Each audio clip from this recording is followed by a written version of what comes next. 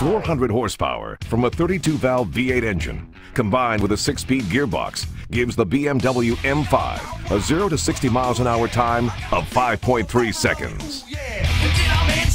Oh,